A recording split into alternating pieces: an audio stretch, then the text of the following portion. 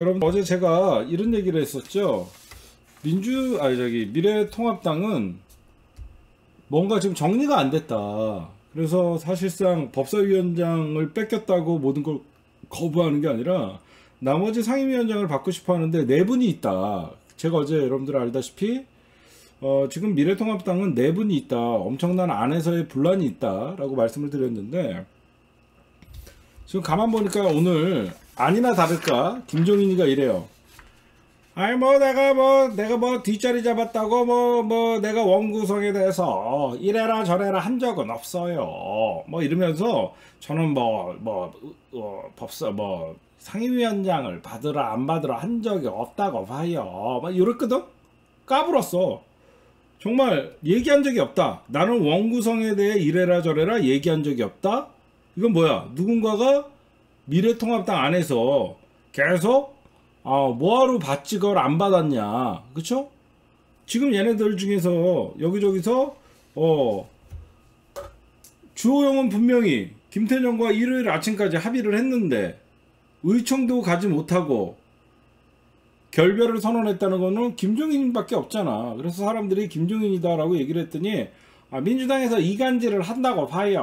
어, 제가 무슨 뭐 어, 원구성에 대해서 제가 국회의원도 아닌데 뭐 뒤에서 뭐 제가 이래라 저래라 할 신분은 아니라고 봐요. 뭐 요, 요랬거든요. 어? 건 뭐야? 분명히 미래통합당 안에서 불만이 터져 나온 거죠. 어? 당연히 미래통합당 중진들 입장에서는 열받지. 어? 당연히 받을 수 있는 거 왜 안 받냐라고 하면서 그리고 출구 전략도 없고 지금 여러분들 저는 사실상 우리 국민들 덕택에 사실 괴멸 수준의 미래통합당이 됐다고 생각해요. 첫째, 그 정당이 가장 큰 힘을 발휘하는 것은 대권 후보가 있을 때예요. 여러분들 알다시피 우리가 이명박근혜 정권을 견딜 수 있었던 가장 큰 힘은 뭐예요? 문재인이라는 대권 후보가 버텨줬기 때문이죠. 2012년에 문재인이라는 걸출한 우리 국민의 마음을 사로잡았던 문재인이라는 대권 후보가 버텨줬기 때문에 민주진영이 단일 대우로 정권 교체를 할 수 있다는 희망으로 국민들이 뭉치고 사실상 정권 교체를 이뤘죠. 자네들은 사실상 지금은 거의 멘붕이에요. 미래통합당은.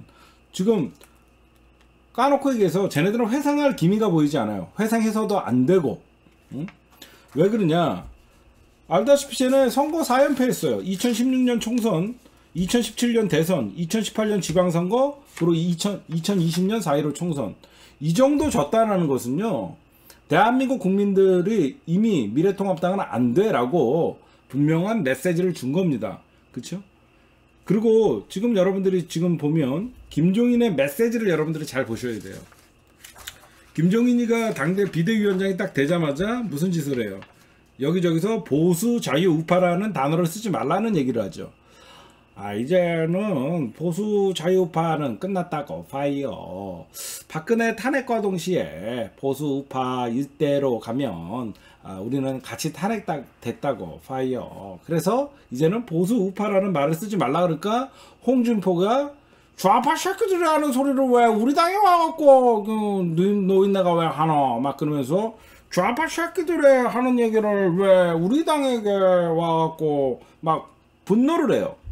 그러면서 장재원이 어 저기 김정희 대표님 이게 우리 당에게 하신 말씀입니까? 막 그러면서 건방을 떨어요. 그렇죠? 막 그러면서 당내 중진들 이상의 사람들이 저항을 해요. 저항을 해. 그러다 보니까 김종인 여러분들 잘 보면요 두 가지로 볼 수가 있어요. 실질적으로 김종인이 당권을 잡고 있냐? 저는 그렇게 안 봐요. 그렇죠. 저는 김종인이 당권을 잡고 있다고 절대 생각하지 않아요. 겉으로만 진짜 여러분들 미래통합당이 얼마나 무서운 정당인지 알죠. 지금 터루택, 아 죄송합니다. 정우택, 그 다음에 김무성, 거기에다가 홍준표 이런 애들 있잖아. 4선 이상의 중진들이 왜 김종인을 냅둘 것 같아요. 지금 총선 이후에 총선 전에도 이길 만한 모멘텀이 없었고 일단 나부터 살고 본 다음에 김종인이가 아니면 지금 김종인이가 나이 먹어갖고 저저 지금 미래통합당 당 대표 해달라 그러면 누가 맡을게요. 여태까지 보시면 여태까지 뭐 그 그 유석춘 유석춘이었나? 뭐 그다음에 김병 그 누구야? 김병 그 김병준 이런 사람들 맡을 때마다 계속 거기에다가 그 누구야? 그 전 누구야? 그 논객 전원책. 정말 맡, 맡을 때마다 문제가 됐었고 결국은 맡을 사람이 없다 보니까 김종인이가 막 어, 뭐 박근혜의 제가 경제 교사인 거 여러분들이 다 아시잖아요. 그러면서 어, 경제는 저라고 봐요. 그러면서 막 어, 민주당에 있다가 미래통합당에 갔다가 왔다가리 갔다리 하잖아요. 정치인도 요즘 왔다리 갔다 하는 것 같아요. 근데 중요한 건 뭐냐면요. 우리가 여기서 여러분들 잘 짚고 넘어가야 되는 게 김종인의 수명이 언제까지냐를 봐야 돼요. 그렇죠? 김종인의 수명은 여러분들이 잘 아시겠지만 내년 4월까지입니다. 김종인의 수명이 내년 4월까지라는 건 무슨 말이냐? 김종인이가 정말 당권을 유지하고 장권을 장악했다 그러면 김종인이가 내년 4월 이후에도 김종인이가 당권 체제를 갈 수 있겠죠. 그러나 정말로 미래통합당의 그 끈질긴 저 친일의 DNA 쟤네들은 절대 김종인이는 제가 보면 김종인은 바지 사장이고 혼자 지금 당대표 노름에 빠져 있는데 실질적으로 지금 김종인이는 겉으로는 개혁을 하고 탈색을 하고 메시지를 쏟아내면서 민주당에 솔직히 김종인이가 할 수 있는 건 뭐밖에 없다? 민주당의 헛발질밖에 없다. 그쵸? 잘 생각하면 지금 미래통합당이 국회에서 보이콧한 데다가 상임위원장, 아니 상임위원 명단 제출하겠다. 왜? 여론이 좋지 않거든. 어떻게든지 국회 안에 들어가서 싸워갖고 계속 민주당이 말 실수하게 만들고 헛발질하게 만들어야만 본인들이 어, 할 수 있는 게 그게 전부니까. 지금 미래통합당 제가 잠깐 여기저기서 취재를 해보면요. 반반이래요. 김종인 더 지켜봐야 된다. 그리고 김종인 벌써부터 아무 성과도 없다. 어? 성과도 없고 당의 색깔도 맞지 않고 뭐 저래 갖고 무슨 어? 개혁이 되냐 이렇게 얘기하는 사람들도 있고 좀 더 지켜보자. 그런데 아무래도 당을 수습할 사람이 없으니까 더 지켜보자는 사람들의 목소리가 조금 더 클 뿐이지 김종인이가 유일하게 하는 것은 민주당의 헛발질을 기대할 수밖에 없는 처지. 그래서 추미애 장관이 무슨 얘기만 해도 아, 그 말이 굉장히 전능하다고 봐요. 어, 뭐 법무부 장관이 돼갖고 뭐 저런 얘기를 하는 것은 인격의 문제라고 봐요. 뭐 본인의 인격이 얼마나 좋아서 어, 우리가 잊지 말아야 될 것은 현재 미래통합당의 비대위원장은 전두환 시대 때 국보위 출신이라는 건 절대 잊지 맙시다. 그들은 독재의 DNA에서 벗어나지 못하는 정당이에요. 그렇죠?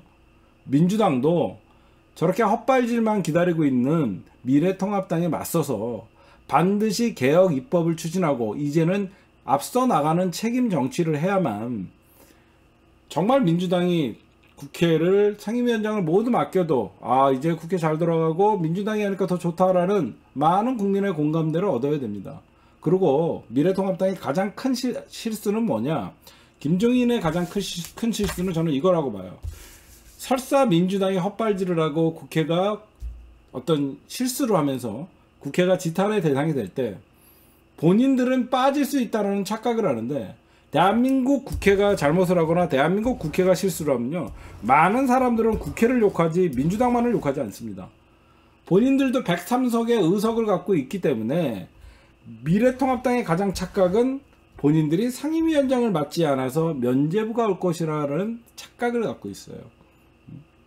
절대 그렇지 않다. 그래서 어, 지금 미래통합당이 유일하게 할 수 있는 일은 민주당의 헛발질밖에 없는 참으로 비참한 현실이고 그 비참한 현실을 인식을 하고 저는 미래통합당은 어, 국회에 사보임을 제출할 게 아니라 정말 꼴드백이 싫습니다. 그냥 사퇴를 하세요. 103석에 수많은 국민의 혈세를 가져가고 아직 그 단 한 달이 넘은 그 국회 개원이 난 지 한 달이 지금 다 돼가는데 아직도 그 무엇도 하지 않는 그냥 미래통합당 의원님들 사임계를 국회에 제출하지 마시고 국회에 사표를 제출하세요. 그래서 미래통합당 없는 진정한 국산화 국회를 볼 때 그러면 진정한 민주당이 모든 비판을 받을 수 있다라고 저는 생각을 합니다. 그래서 네, 어쨌든 여러분들 어, 내일 어, 아까도 말씀드렸지만 내일은 어, 이종걸 의원님 모시고 어, 정책 클리핑 2시에 시작하고 목요일 날 목요일 날 방송 예고 하나 해드릴게요.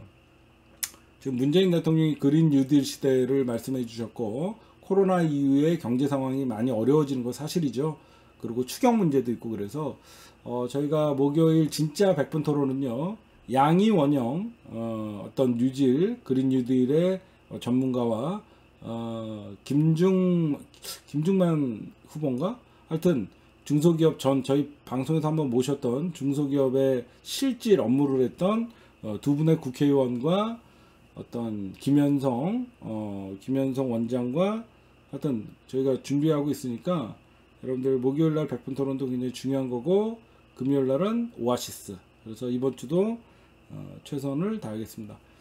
그래서 저희 개혁국민운동본부 보이시죠? ARS 정기회원 18770523 계좌 회원도 가능하니까요. 여러분들 어, 개혁국민운동본부 지금 1510명, 20명 정도 된 것 같은데 개혁국민운동본부 반드시 3,000명 빨리 달성할 수 있게 1인 1 계좌 갖기 운동 우리 개혁본 회원 여러분들 부탁드립니다. 오늘 녹화는 여기까지만 할게요.